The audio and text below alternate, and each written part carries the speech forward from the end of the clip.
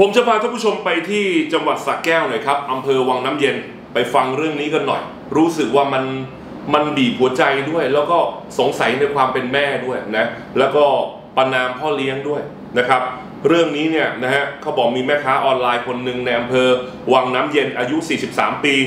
เขาได้พาลูกสาวเนี่ยวัย 15 ปีครับไปแจ้งความกับเจ้าหน้าที่ตำรวจเมื่อวันที่ 1 มีนาที่ผ่านมา ว่าให้ดำเนินคดีกับพ่อเลี้ยงหน่อย พ่อเลี้ยงเนี่ยในวัย 26 ปีเนี่ยก่อเหตุข่มขืนลูกสาวเขาซึ่งวัย 15 ปีข่มขืนมาตั้งแต่ปลายปี 2563 จนน้องเนี่ยตั้งครรภ์และล่วงเลยเวลาผ่านมาเนี่ยน้องคลอดลูกแล้วเมื่อเดือนพฤษภาปีที่แล้ว 64 แล้วก็ต่อมาเนี่ยไอ้เจ้าพ่อหนุ่มรายนี้เนี่ยวัย 26 ปีแฟนใหม่เขาเนี่ยนะแฟนใหม่คุณแม่เนี่ยนะก็หลบหนีไปอยู่จังหวัดลบบุรี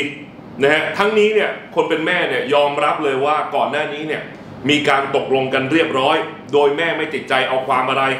แต่หลังจากแฟนหนุ่มวัย 26 ปีเนี่ยได้หนีเขาย้ำว่าได้หนีนะได้หนีไปทำงานในภาคกลาง แล้วก็ทราบข่าวต่อมาว่า แฟนหนุ่มคนนี้เตรียมจะแต่งงานใหม่ ประกอบกับญาติพี่น้องทางฝั่งแฟนหนุ่มเนี่ยคอยพูดจาถากถางและต่อว่าทางผ่านสื่อโซเชียลตลอดเวลาที่ผ่านมา ตนเนี่ยทนไม่ไหวแล้วก็เลยพาลูกสาวมาแจ้งความดำเนินคดีให้ถึงที่สุด ด้านตำรวจสพวังน้ำเย็นก็เปิดเผยว่า หลังจากรับแจ้งความแล้วเนี่ยนะตำรวจก็ได้ส่งเด็กผู้เสียหายเนี่ยเข้าสู่กระบวนการการสอบสวนคดีเด็กและเยาวชน ผ่านเจ้าหน้าที่สหวิชาชีพ และก็อายการ แล้วก็จะออกหมายจับออกหมายจับมาเนี่ยก็คือชื่อนายปราโมทสายชน หรือเจ้าต่ออายุ 26 ปีนะฮะในข้อหาข่มขืนกระทำชำเราเด็กอายุไม่เกิน 15 ปี คดีนี้เนี่ยเขาบอกไม่สามารถยอมความได้ก็ตรามาตรา 277 มีโทษจำคุกไม่เกิน 5-20 ปี ปรับตั้งแต่ 1 0 0 0 0แสนถึง4 0 0แสนบาท นะฮะหลังจากหมายจับออกเจ้าหน้าที่ตำรวจไม่รอช้านะครับ ก็ส่งสายสืบไปเลยในพื้นที่จังหวัดลบบุรี เพื่อไปตามตัวเจ้าต่อ สุดท้ายเนี่ยไม่พบฮะแต่ทราบต่อมาว่าเจ้าต่อเนี่ยหนีไปอยู่อำเภอสอยดาวจังหวัดจันทบุรี จึงประสานงานตำรวจพื้นที่เนี่ยจับกลุ่มเจ้าต่อได้ในที่สุดท่านผู้ชมนะและณขณะนี้ก็นำตัวมาดำเนินคดีเป็นที่เรียบร้อยแล้ว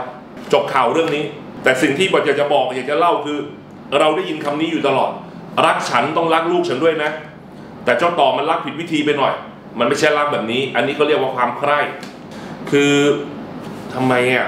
น้องอายุ 15 มันมีอารมณ์ตรงไหนอะแล้วเนี่ยได้แม่เขาแล้วจะต้องเอาลูกเขาด้วย แล้วพอลูกเขาท้องเนี่ยมันเจ็บใจนะ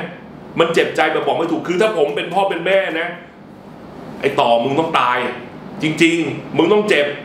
คือไม่เป็นไรหรอกหลานเราลูกเราไม่มีพ่อไม่เป็นไร แต่มึงทำอย่างนี้กับลูกหลานกูไม่ได้ และแม่เนี่ยเป็นอะไรเนี่ย ไปคุยตกลงอะไรกันเรียบร้อย มันหลงเขาหรือมันอะไร มันจะต้องดำเนินคดีกับเขาสิ ไม่ใช่พอเขาจะหนีไปแต่งงานใหม่แล้วคุณค่อยมาแจ้งความมันไม่ถูก มันควรจะดำเนินคดีกับเขาตั้งแต่แรก ลูกเราทั้งคนนะ เงินเท่าไหร่ก็ซื้อไม่ได้หรอก เอาจริง ๆ ลูกเราทั้งคนเงินเท่าไหร่ก็ซื้อไม่ได้ อันนี้แปลกใจนะ เพราะฉะนั้นอยากเตือนคุณแม่ที่เลิกลากับสามีไปแล้วมีสามีใหม่ คนดีก็มีครับ คนไม่ดีก็มี เพราะฉะนั้นจงสังเกตดีๆ รู้หน้าไม่รู้ใจ เพราะฉะนั้นต้องระวังครับเรื่องแบบนี้ เตือนไว้นะฮะขอบคุณครับ